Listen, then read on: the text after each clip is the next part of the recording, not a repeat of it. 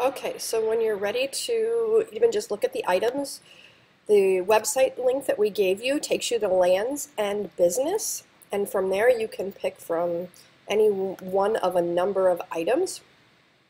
You click on the item, pick what you want,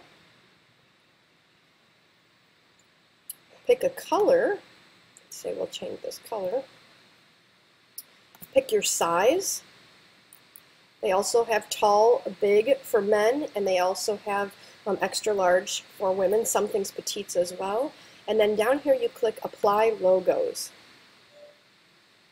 And from there you can see the TICA logo's already been uploaded to Lands End, so you can pick one of the various logos and you see the, the US dollar at least um, additional cost for adding the logo.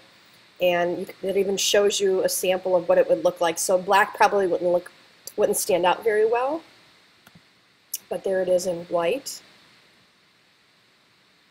And you can change the location. You can see the circle shows you where it would be. So let's pick that. Apply logo. Now you see your item, size, quantity, price with the logo, fees, and all that location. And you just click Add to Bag. And you can continue shopping and order more great TICA items, or you can proceed to the checkout and check out and order your items. Thank you.